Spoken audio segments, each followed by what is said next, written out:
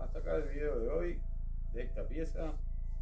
Eh, que todavía no la horneé, ¿no? Obviamente falta. Este, voy a hacerle dos horneadas. Y en este tipo de arcilla eh, que preparo acá en el taller, horneo a, a 1100, 1120 grados. Es una arcilla realmente de muy buena calidad, la verdad, y muy buena plasticidad, es excelente.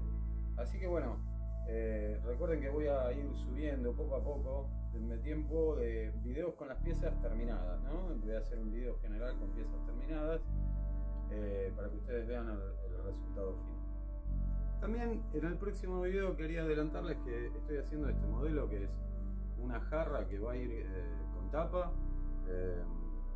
todavía está en estado de cuero, todavía no le hice junquillo, no pegué laza, nada. Así que vamos a voy a empezar con esto, ahora a grabar una, parte y esto estará publicado seguramente el, próximo jueves. Eh, acá tengo la tapa,